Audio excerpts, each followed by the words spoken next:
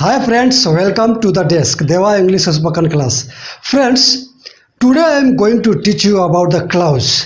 Clause जिसको आप बहुत बड़ा हवा समझते हैं जो आपके लिए एक सरदर्द बना हुआ है ये है कुछ नहीं। बस समझने का फेर है। आप एक बार इसको अच्छी तरह से समझ गए तो ये फिर आपके लिए सर दर्द नहीं रहेगा।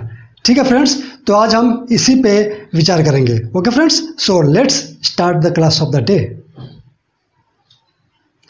friends clause क्या होता है? What is the clause clause हम वर्ड्स के ग्रुप को बोलते हैं। Clause is the groups of word मतलब कुछ शब्दों को लेकर जो एक सेंटेंस बनता है, कोई भी सेंटेंस बनता है, उसको हम क्लाउज कहते हैं। ओके फ्रेंड्स अभी हम समझते हैं एक एक करके कि clause the group of words group of words जिसमें एक सब्जेक्ट और एक वर्ब का होना ज़रूरी होता है। क्लाउज ऐसे वर्ड्स का ग्रुप है, एक ऐसा ग्रुप है जिसमें वर्ड्स होते हैं, लेकिन उसमें एक शर्त है कि उसमें एक सब्जेक्ट और एक वर्ब होना चाहिए। ओके फ्रेंड्स जैसे एक सेंटेंस लेता हूँ मैं कि I drink milk every day मैं रोज़ दूध पीता हूँ। तो इसमें एक सब्जेक्ट है आई और एक वर्ब है ड्रिंक तो दोनों इसमें आ गए। ये हो गया क्लाउज। ये जो पूरा सेंटेंस हो गया, एक क्लाउज हो गया। ओके फ्रेंड्स आई ड्रिंक मैं पीता हूँ। मिल्क एवरी डे रोज़ दूध पीता हूँ। ठीक है? ये एक क्लाउज हो गया। इसमें एक सब्जेक्ट है और इसमें एक वर्ब है। ये दोनों होना ज़रूरी है। दो का होना।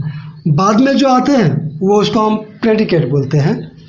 यानी कि सब्जेक्ट के अलावा जो भी आता है, उसको हम प्रेडिकेट बोलते हैं। जैसे ही इज़ प्लेइंग क्रिकेट तो ही इसमें सब्जेक्ट हो गया, इसको छोड़ दो तो इज़ प्लेइंग क्रिकेट प्रेडिकेट हो गया। ठीक है फ्रेंड्स अब ये क्लाउज होते कितने प्रकार के हैं? तो दो प्रकार के। क्लाउज दो तरह के होते हैं। एक होता है इंडिपेंडेंट और दूसरा होता है डिपेंडेंट इंडिपेंडेंट का मतलब तो आपको पता होगा कि जो बिल्कुल फ्री हो, आज़ाद हो, जो किसी पर निर्भर ना हो, उसको हम इंडिपेंडेंट कहते हैं। यानी कि वैसा सेंटेंस जो किसी पे डिपेंड नहीं होता। और डिपेंडेंट क्लाउज किसको बोलते हैं?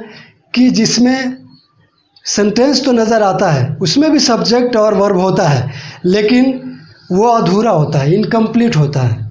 It doesn't have a complete meanings by itself इसमें इसका कोई कंप्लीट मीनिंग नहीं निकलता, अधूरा सा लगता है। उसको हम कहते हैं डिपेंडेंट क्लाउज ओके फ्रेंड्स जैसे इंडिपेंडेंट क्लाउज में यू मे गो तुम जा सकते हो।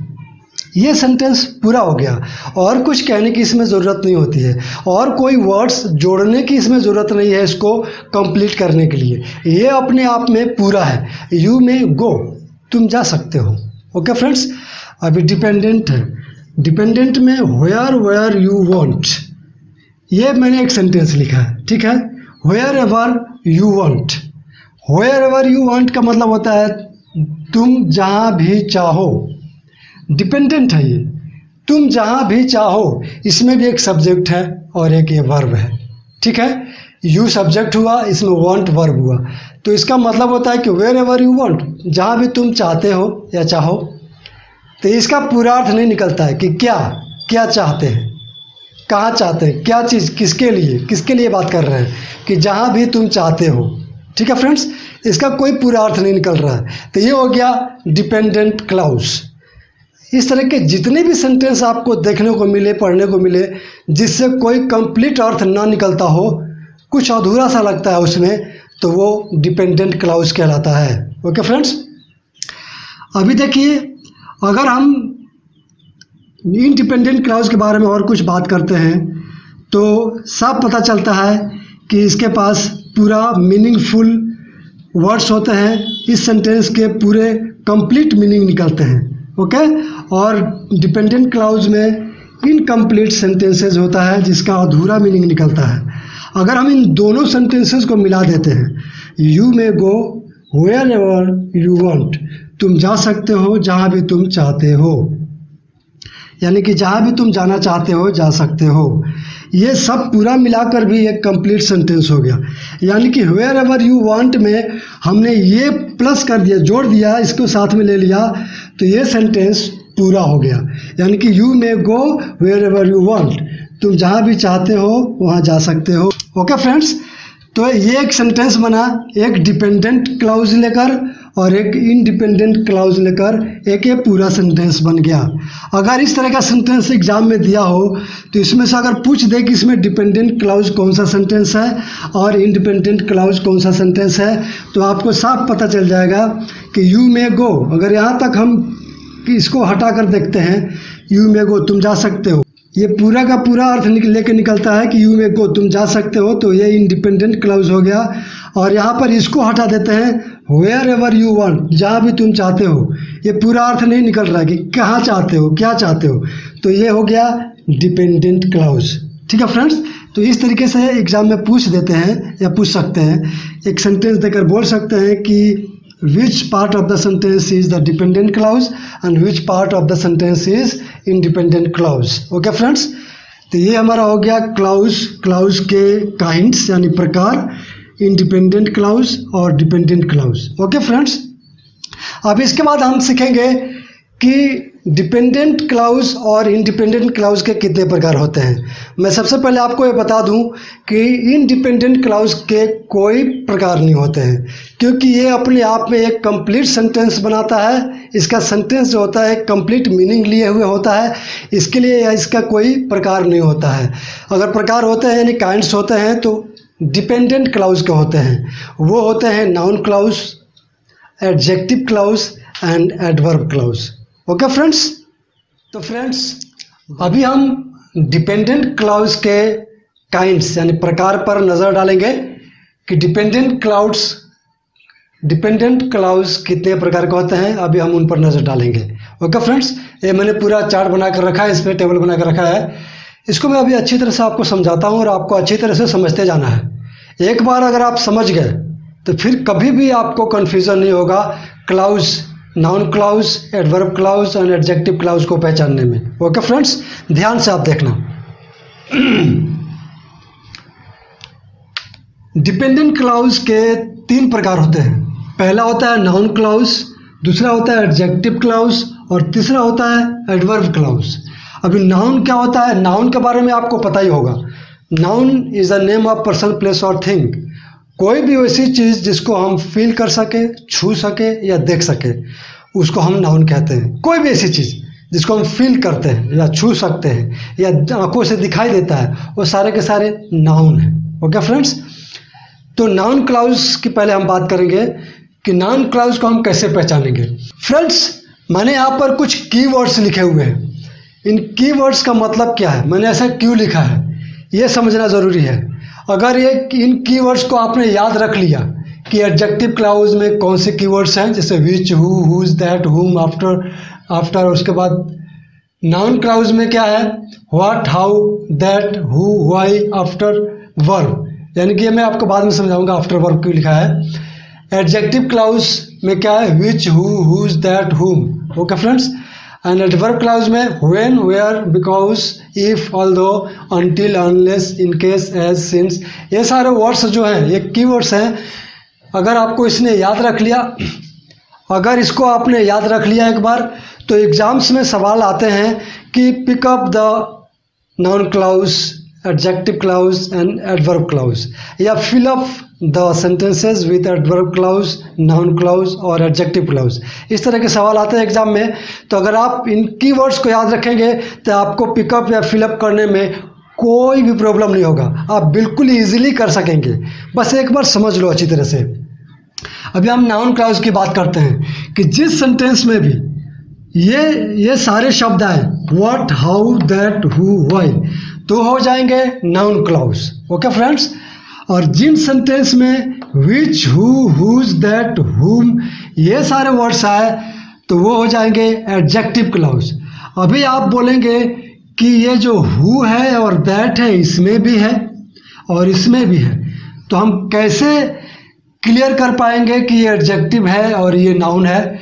तो फ्रेंड्स इसके लिए मैंने यहाँ पर लिखा है कि ये जो सारे हैं ये अगर आफ्टर वर्ब यानी कि क्रिया के बाद आता है, ये वर्ड्स ये वर्ड्स अगर क्रिया के बाद आता है, यानी वर्ब के बाद तो ये नाउन क्लाउज होगा ओके और ये नाउन के बाद अगर आता है तो ये होगा एडजेक्टिव क्लाउज मैं अभी आपको सेंटेंस के द्वारा समझाऊँगा, आप बिल्कुल ही क्लियर हो जाओगे।